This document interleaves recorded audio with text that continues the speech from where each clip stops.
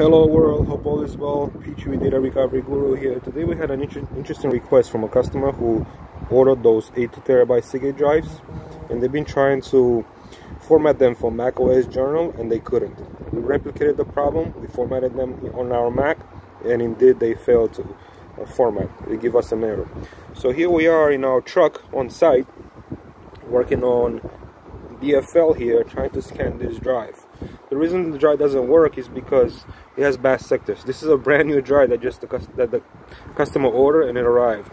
So I'm going to run a quick scan here from the beginning of the drive and you'll see how it starts having issues.